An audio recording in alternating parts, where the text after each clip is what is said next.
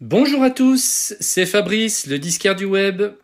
Le deuxième disque de Jean-Michel Jarre, édité par la collection Signature Radio France, est consacré à l'habillage de France Info.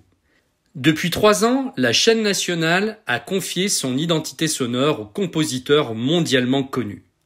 Il s'agit d'une pièce collector rare que tout fan sera ravi de posséder. Il fait suite au précédent volume, toujours composé par Jean-Michel Jarre, Radiophonie volume 9, introuvable à ce jour.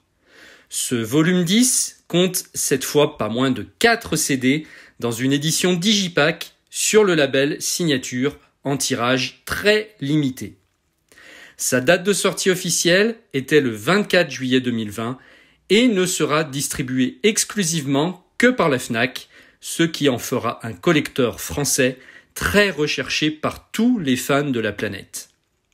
Pour voir sa fiche détaillée et réserver votre exemplaire dès maintenant, cliquez sur le lien qui se trouve juste en dessous de la vidéo.